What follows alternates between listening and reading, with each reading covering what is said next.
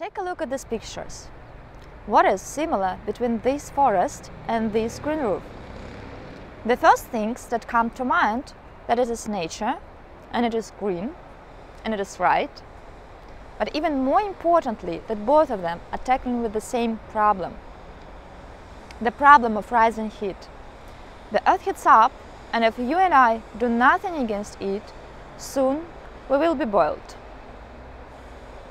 My name is Liza Fakirova. I'm an urbanist and green infrastructure researcher. Originally, I came from St. Petersburg, the city in Russia where the roofs have long been a symbol of a city. And what I've learned that the roof is a powerful tool that we can use to mitigate the climate change. We live in the times of climate emergency, and the rising temperatures have to be taken into a specific account. When the earth heats up, cities boil, Infrastructure is no longer dependable, death rates rise, and even simply breathing becomes more difficult. Unfortunately, warming is definitely a trend for megacities. The annual increase of temperatures in such cities like Paris or Moscow is four times higher than even 40 years ago. And this trend is very costly. I do believe that all of you had an experience of dealing with the hot weather and heat waves. The most extreme experience I had was in 2010 when I moved from St. Petersburg to Moscow for my internship and my further professional development. I remember this summer very, very well, and especially because of the hot weather. It was 39 degrees during the day, it was hard to breathe, it was smog, and there was no any possibility to buy a cooling fan because everything was sold out. Though summer, Moscow was affected by the strongest heat wave in the present era. And the cost for that was the lives of 10,000 people. And if you still do not believe me that cities will melt us down, just take a look at this news from the last years. London 2013. Do you see these waves on the car? That was done by the skyscraper. The sun reflecting off the building and so damaged the car. The same thing happened in Russia three years ago.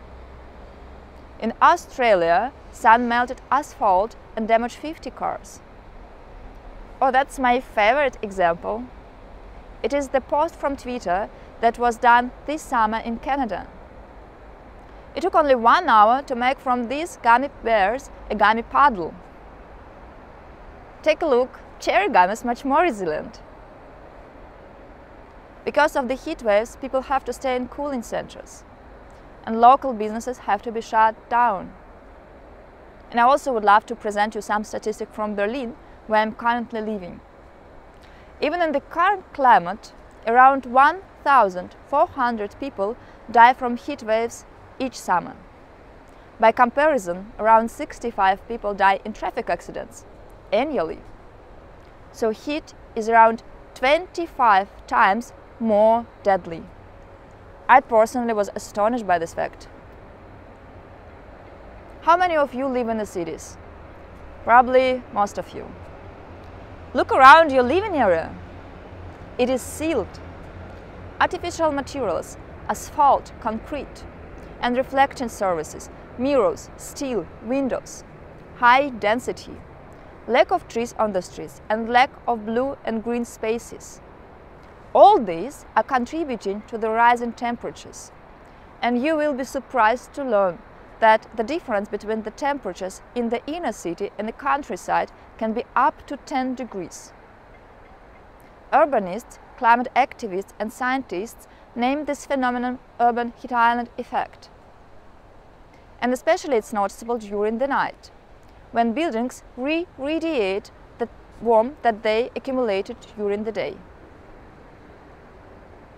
High temperatures in summer and high humidity in winter is affecting our health and especially health of our kids, parents and grandparents. Primarily they are in a risk category. And if you are young and healthy, it is brilliant. But don't worry, we all will get there. And today I'm staying here on the top of the building where I'm currently live in Berlin to tell you that there is a tool we can use to mitigate climate change. And this tool is your roof. More greenery in the city is an effective means of cooling. And now let's come back to the question from the beginning. What is similar between forests and green roofs? Trees reduce the temperature of the environment through the shadows. They also evaporate water through their leaves. That is why it is significantly cooler in natural areas than in urban environment.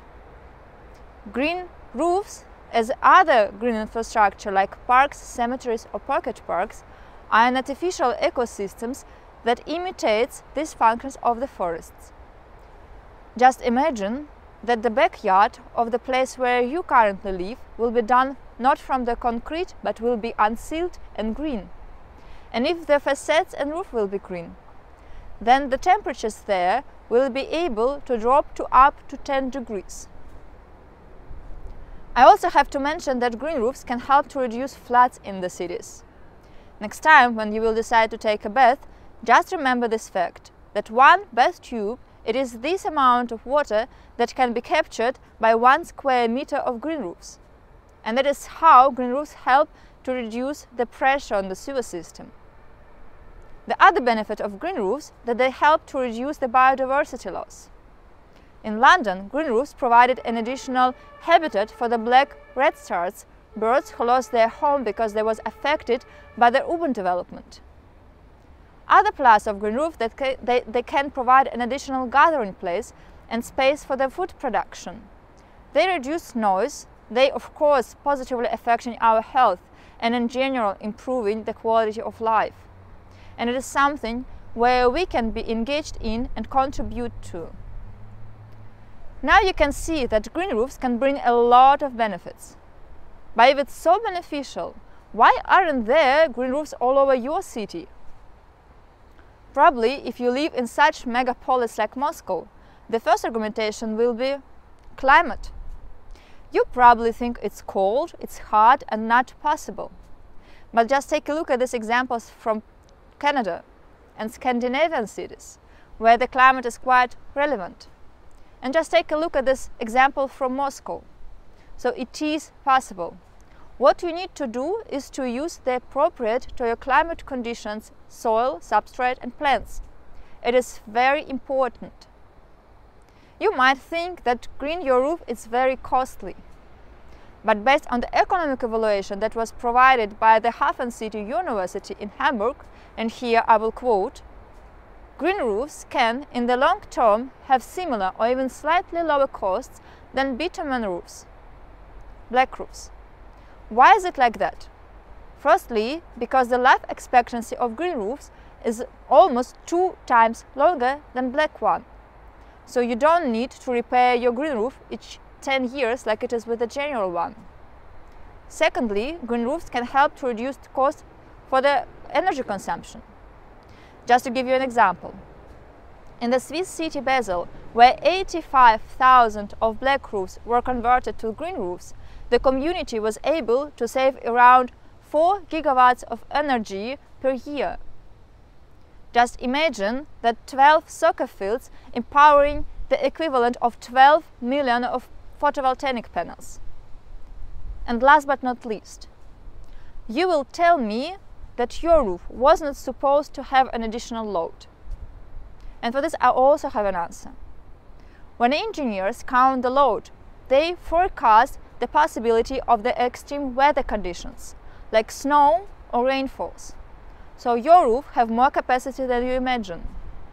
From the other side, you also can use allied solutions, like modular pods or green pockets. What I'm trying to say you here, that we can find a way how to green your roof. And if it's still not, not possible to do that for some reason, you can start small. You can green your garage roof, or your balcony, or you even can start a community garden. You can spread the knowledge about green roofs. You can share this TEDx talk. Let's turn off the stone burner and renature our cities.